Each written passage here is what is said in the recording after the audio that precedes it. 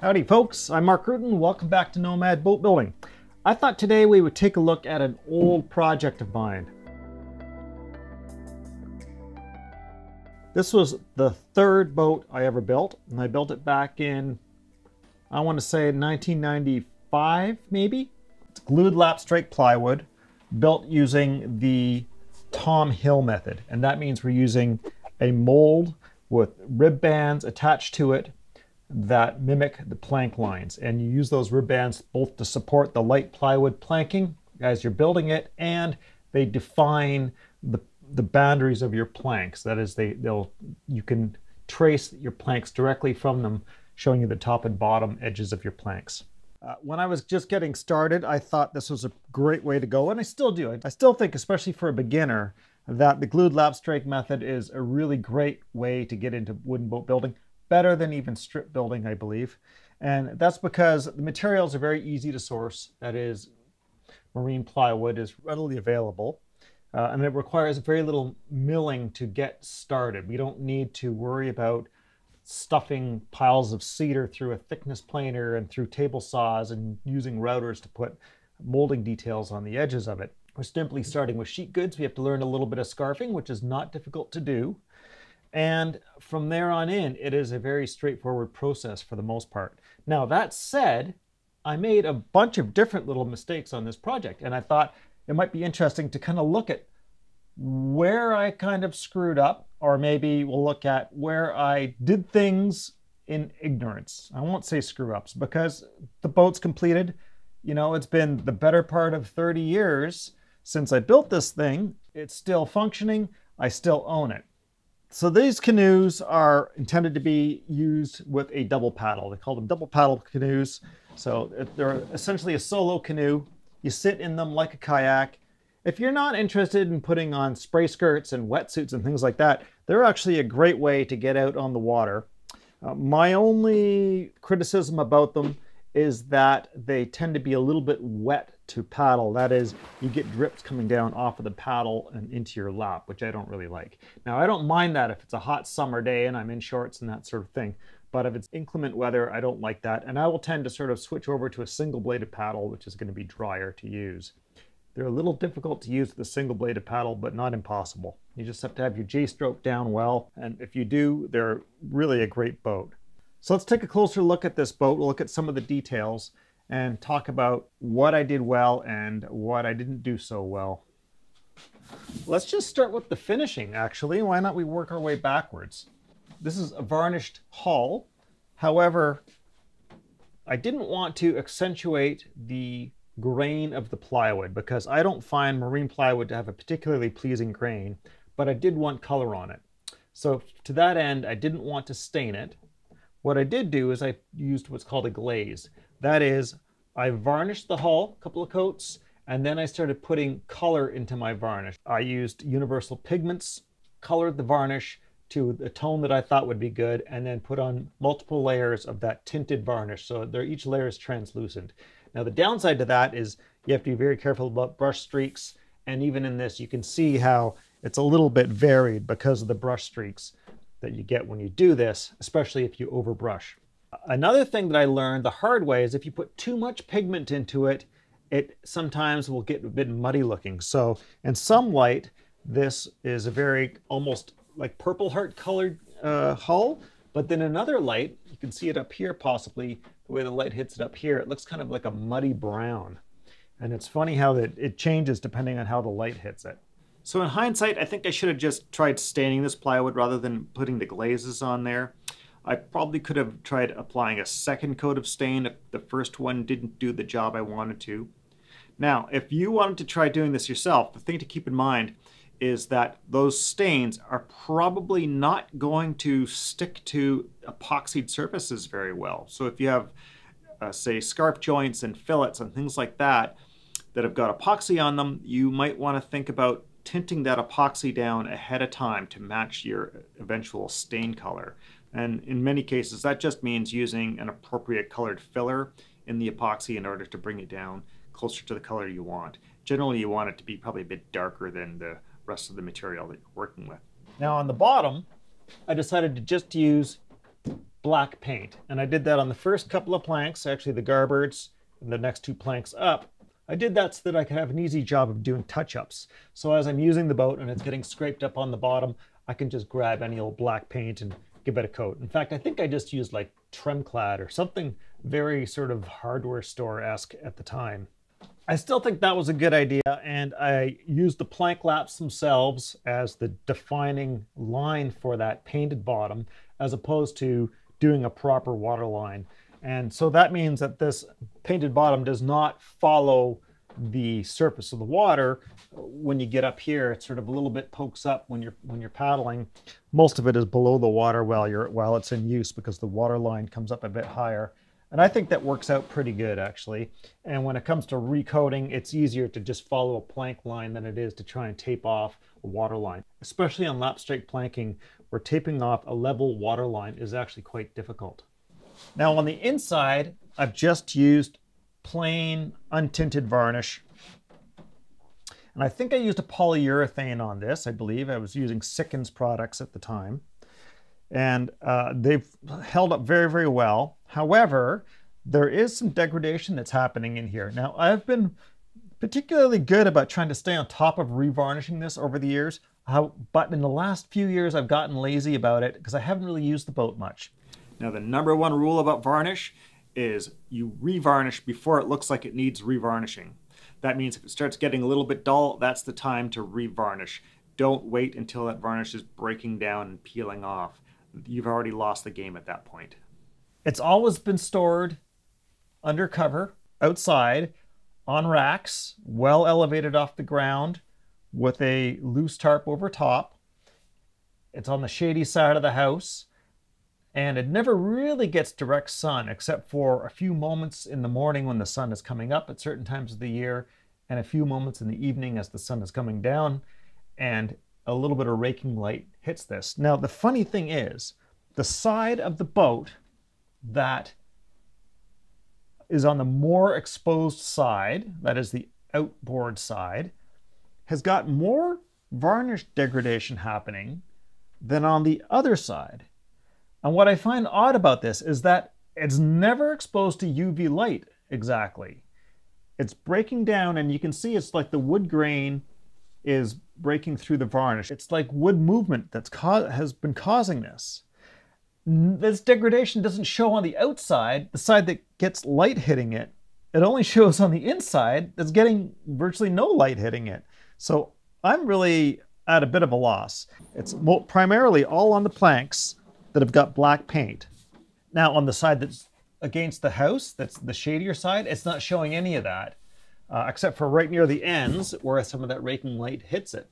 So it must be the way the black planking heats up from that sunlight hitting it, even briefly, and just causing that, that plywood to want to move just a little tiny bit. And um, I find that so curious because the, the topside planking doesn't show that really at all. It has been really good about being rot free all these years. There's a few spots where I probably shouldn't have done what I did. One of those spots is here where I've got the stem band running the, around the outside and then passing through this gunnel construction here. So the gunnels sandwich over this stem band. Now the reason that's bad is just because it's very hard to seal where metal and wood come together. The water tends to work its way in. And it hasn't really gotten rotty or anything like that, but it's clearly not the best idea. Perhaps you can see right here how the stem bands overhang the planking a little bit. I certainly didn't get the planking all in the same orientation as neatly as I could have. And I probably didn't bring back the face of that planking enough to allow this stem band to land on there properly. If I were to do this again, I would have taken this back much further and I would have put a hardwood cutwater on the outside before the stem band. Having this planking, these plank laps come right to the stem band is not something that I think is a good idea. However, the book I was following specifically recommended doing this as a simplicity, but I don't think it's a good one. Now, one thing I did do, which I think was smart, was through the stem band here, I drilled a hole through the deck so that there's a little bit of drainage that can happen uh, for any water that sits up underneath the decks while it's in storage. So it doesn't look very pretty, but at least it's there. when I lined out this planking, I erroneously brought the garboards together here still on the keel. What I should have done is brought those garboards all the way through to here. I was ignorant about the best way to line out a boat or what you should be doing when you're lining out a boat in terms of shaping the planks, sizing the planks. Uh, the idea that planks needed to taper from the widest, the midships, down to something narrower at the ends was not necessarily a, a clear concept to me. And for some reason, this felt like the thing to do, but I was wrong. As a result, the next planks, which are going where the garboards should go, run out to here. And all the subsequent planks now have to flare out towards the ends of the boat in order to make up that space. The garboards are missing from the ends. So we're basically making up about three inches over the course of these other two, four, five planks. Well, four planks really, because one of them is just doing the garboards job. So that was kind of a, a bonehead maneuver on my part, but it's, it's something that I didn't even really conceive of until late, years later when I was learning properly about boat building and looking back at my work and saying, oh, I really shouldn't have done that. Now, another thing that I did that wasn't so smart was I don't think I had any clear concept of how to lay out molds. When I built this, I took the design for a smaller boat, a 12 foot boat that I had already built. It was my second boat that I built. I wanted to make it longer, stretch it out to 15 feet. And I think I sat down and I kind of fudged out how much further apart I needed to spread my molds to try and get it to 15 feet. But what I didn't do was use like a good stiff batten to make sure those were all in alignment. Now, it was a battened mold, so that pretty much took care of lining up all those molds. And maybe I fudged them a little bit uh, after I started putting battens on. I don't remember because it was a long time ago. But what I got wrong was towards the ends here, I don't think I tapered off my stem properly. And as a result, I've got this planking that comes in here. It comes together, but then it swells out ever so slightly and then comes together again at the stem. So I think it was a combination of not beveling my stem off properly and possibly having too much of a distance from my stem to my next mold. Basically, the boat should have stopped, you know, six or eight inches sooner relative to the way the molds were spaced. And I didn't have enough uh, sense about that to make sure that I didn't squish these in as I was gluing these up. I probably should have found a way to let them spring out a little bit. Now structurally it's not a big deal. It's really just an aesthetic issue, but um, it's one that I couldn't see before. Now one of the things that I did was laminate up the decks. I think I was just working with smaller pieces of stock that I had on hand. It's something I don't really like doing nowadays. I like to keep things simple. I would have oriented the grain differently than I did. These are just running straight fore and aft. But I think I was probably making, trying to make good use of what materials I had on hand. So the decks are mostly white cedar with a little bit of cherry sandwiched in there. And there's a lot of lines going through there because of these laminations. And at the time, I thought that was pretty cool stuff. I don't think it's cool stuff anymore. It's not to my taste. I've got these little coamings, which I still think were kind of a, a, nice detail. For some reason, I made them up in two pieces. I don't quite know why I did that, but uh, I think what I've done here is I've had got one that's laminated to the inside, and then the other one la just laps down on top of the deck. So it cleans up this deck joint nicely. I don't have to worry about it being so clean. Then they're glued together right in place. Another thing I did was create this little bird's mouth scarf up here while I was aware of scarfing, I have had never heard of a bird's mouth scarf exactly. So this was something I just kind of dreamed up. I didn't have material long enough for the full length of the boat uh, for the outwales. These are ash. So I added a little bit of cherry onto the end.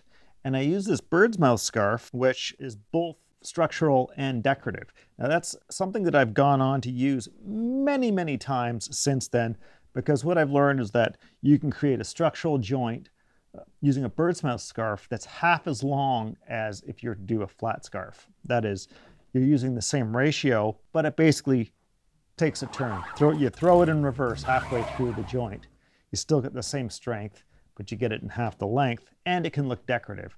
And so I think that's sort of a nice detail here uh, visually, And it's something I use on canoe restoration where I will fix ribs using a bird's mouth scarf because I find that even though the scarf is not invisible, at least the scarf you do see looks more presentable than uh, a flat scarf that tends to just have a bit of a large, not particularly definite line to it. So one of the other little details I think I would do differently now is I would put a much broader molding onto this rub rail here. These are just very small roundovers, quarter inch at best, not even really. And so I would definitely put a heavier round over, maybe even make this a full half round or, or some other ovoid shape. Uh, these are just a bit sharp, and as a result, you get a lot more wear and tear on, on the hard spots along here on the edges. So the varnish is breaking down there. And ash is particularly bad for turning black once water gets into it. So there's no cleaning this up except for taking it right down to the wood and sanding it until you get rid of that color, unfortunately. You can see this sort of classic style willow leaf double paddle that I built. That's just white pine. It's not the lightest paddle in the world, but it's not the heaviest either. It works pretty good. And you can see how I'm using the locked gunnel to keep it uh, positioned in the boat with just some bits of webbing here. So that works fairly well. Then we have this exposed keelson in here. That's white cedar again. If I were to do this over, I would probably round over these edges because they're a bit sharp and exposed. Things like that. When if you take a, if you're kneeling in the boat or whatnot, that can get a bit sore. So I would definitely soften those up. Now I do feel like I did a nice job on these thwarts. These are just white cedar. I left them a little bit chunky in order to give them the strength they would need. But they've got sort of a nice triangular configuration. And this one back here, which is supposed to serve as backrest as well as a thwart, is asymmetrical. So it tapers off this way. It's kind of plumb this way. Now I do use this webbing seat here, or as a, or a backrest at the very least. And that just adds quite a bit to the comfort. But sometimes if I got a longer PFD, I can just rest against that thwart there and that, that'll do the job fine. And down here we have this adjustable foot brace.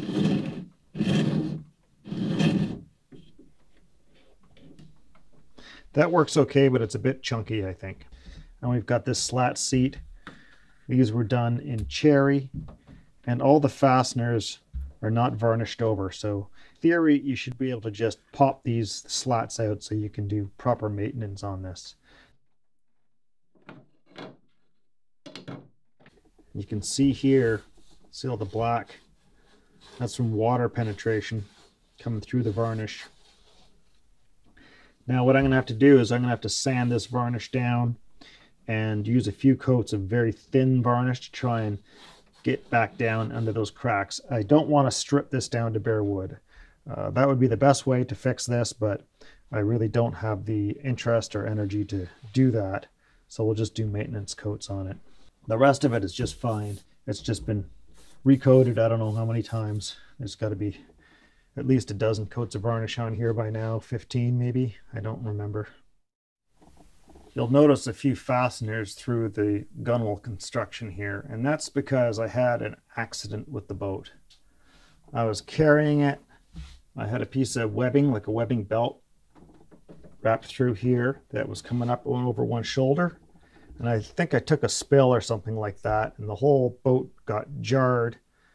There was no fastenings in these gunnels before, and this inwale just popped right off. There was no glue failure, it was all wood grain failure throughout.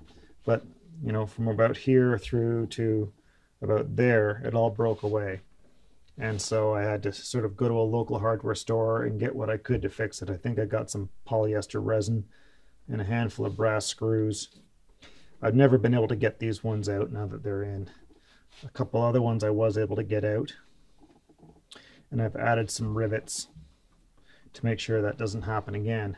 And ever since then, I've come to not be 100% confident in just glue joints on higher stress, things like that. So I will always put some mechanical fasteners in those.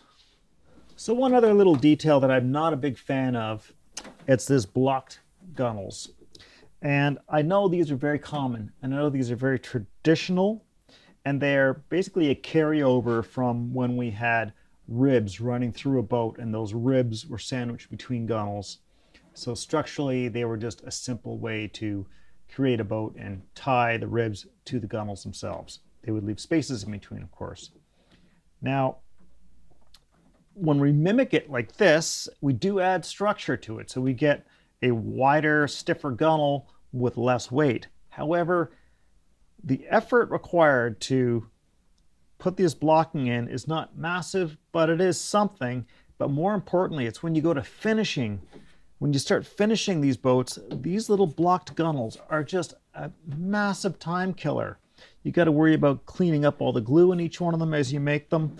And then as you start varnishing, every time you varnish your gunnels, varnish is wanting to come and drip down through onto your inside. Or if you're varnishing the inside, you're always worrying about trying to get up into this little hole here and on the other side too. Trying to, trying to get proper coats in there is really, really tough.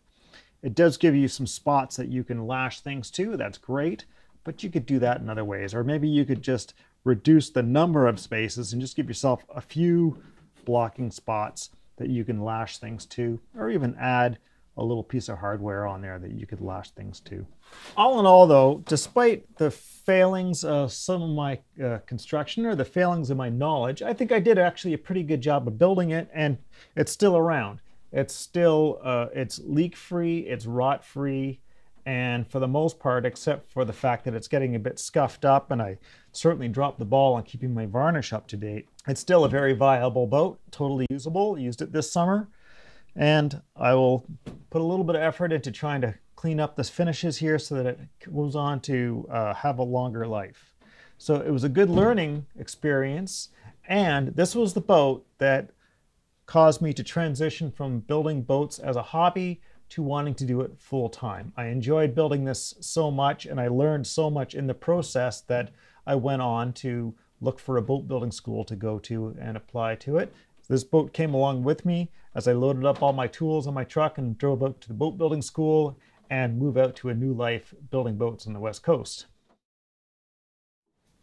All right, I've sanded down the entire boat inside and out.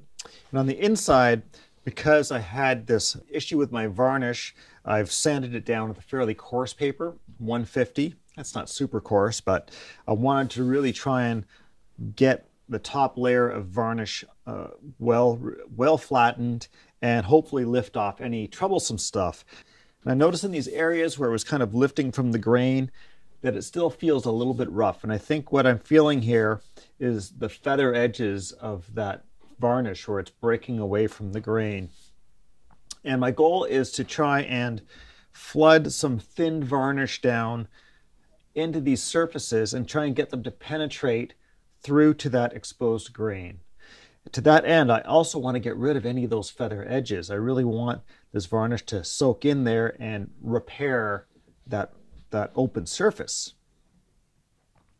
And what I've found in the past is if you just try flooding a heavy layer of varnish over top, all you're going to see is all those little fine cracks just show right up through there. They're just going to penetrate right through that varnish. So we want to try and seal those up before we try and flood a film coat over top. That's why I want to use some ultra thin varnish to do that. But to make that work even better and to make try and get rid of any evidence that this was happening. Now I can't get rid of the staining that's happened.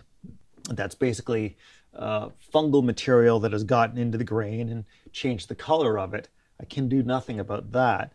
But what I can do is I can just try and patch that, fill it if you will. And so I'm going to use this steel brush to just try and go over these surfaces and where sandpaper could only touch what's on the surface, the steel brush will hopefully get down into those fine fissures and lift off any of that varnish that's not hanging on properly. Steel or brass brush is a great way to get into nooks and crannies that you couldn't get into with sandpaper as well. Just use a light touch. It'll do the same job for you.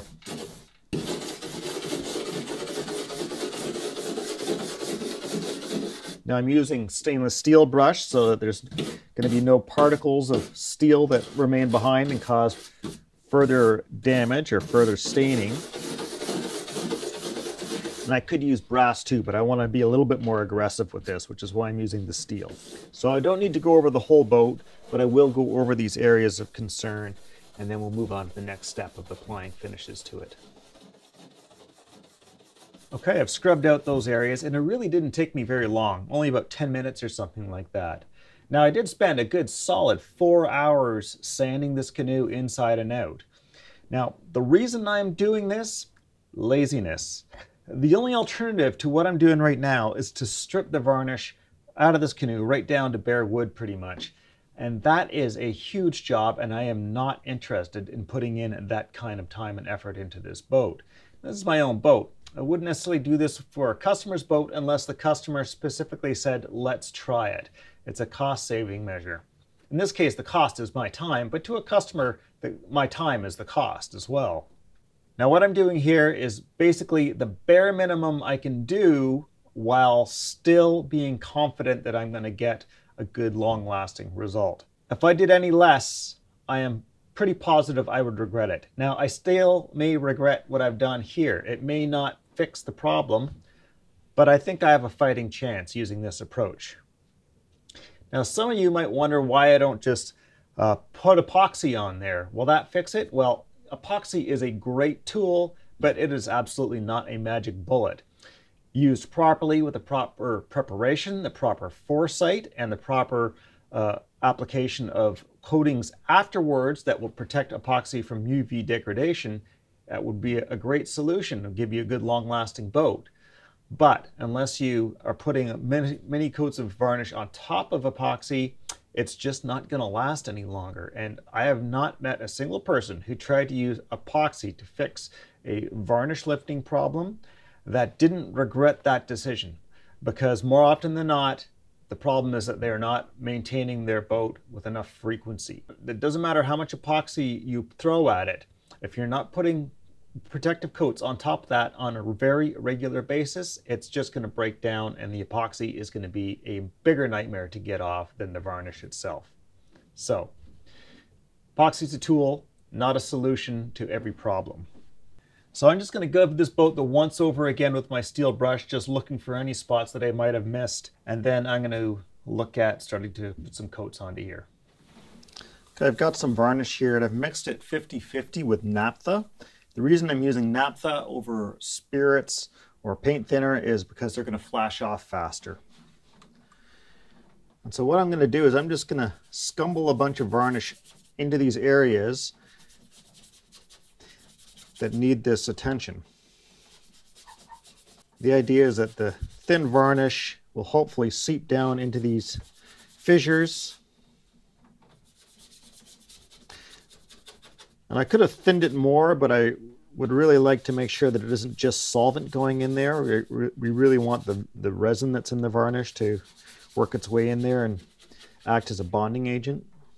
And I'm just going to keep going over it and just agitating the surface here. Now, I'm not worried about surface finish because um, what I'm going to do is after I've let this sit for a minute, I'm going to come back, I'm going to work it in with a cloth, and then I'm going to come back again with another cloth that just has some solvent on it to just wipe off the surface. So I'm just trying to get down into the cracks. I'm not trying to apply a film finish to the whole surface here. Now we're going to let this cure before we try and apply another coat over top. And the reason for that is that I want the fissures to seal up. If I were to apply another coat right away over top, my worry is that the next coat would draw some of this varnish back out of the fissures and allow them to open up again. Okay, I've left this sit around for a few minutes and now I'm just going to take a cloth here and I'm just going to start rubbing it in. Just going over these surfaces, trying to massage in all that varnish. I don't want it pooling anywhere.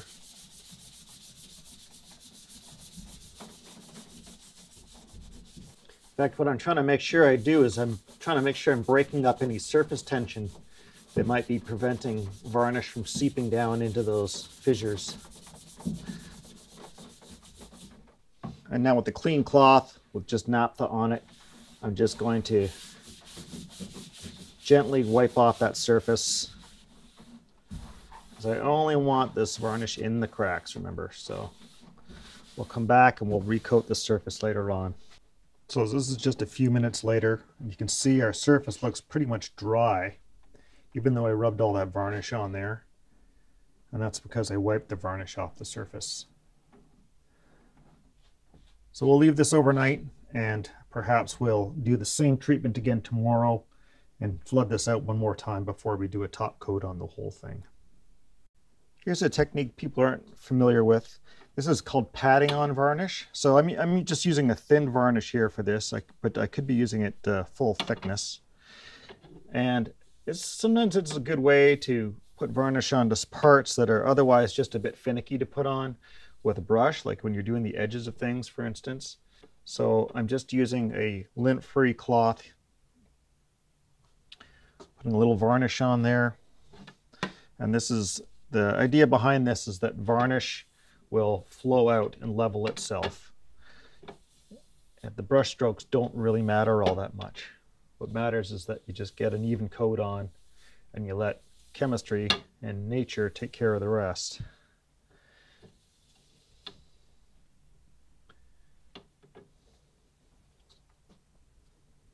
Of course, you save yourself the trouble of doing a brush cleanup. This uh, actually works quite well on things that have a lot of contours, like the rub rails on a canoe, for instance, which are notoriously difficult to try and get a, a brush to wrap around. Of course, it's not, not a really good technique for getting into nooks and crannies and tight crevices, but for uh, other applications, it works just fine. And of course, your working surface is important, so I've just got triangular cleats here, and I got a bit of packing tape on them so that nothing can stick to them. I've got one more part here. It's a little more complicated, but I'll pad it as well. I've just got another cloth with just a little bit of varnish on it that is uh, basically dried. It's acting like a tack cloth. It's just got sort of a, a whisper of varnish spread on it. That's all a tack cloth really is, is, is a cloth with something sticky that will pick up that fine dust, but leave the surface dry in its wake.